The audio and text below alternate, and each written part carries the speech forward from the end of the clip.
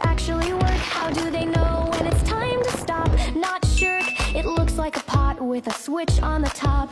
But inside there's science that tells it to stop.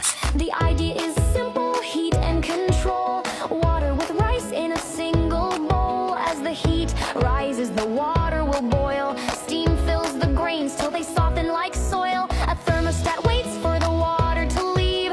Measuring changes that you can't perceive. When steam is absorbed, temperature jumps. The cooker clicks over, no boil, no bumps. Some versions are smarter with sensors that guide. Timers and programs working inside. They balance the moisture, adjust every heat, making sure every portion's complete. So it's not just guessing, no secret disguise. It's clever design, making perfect rice. From sticky to fluffy, the cooker won't miss. A small kitchen tool built on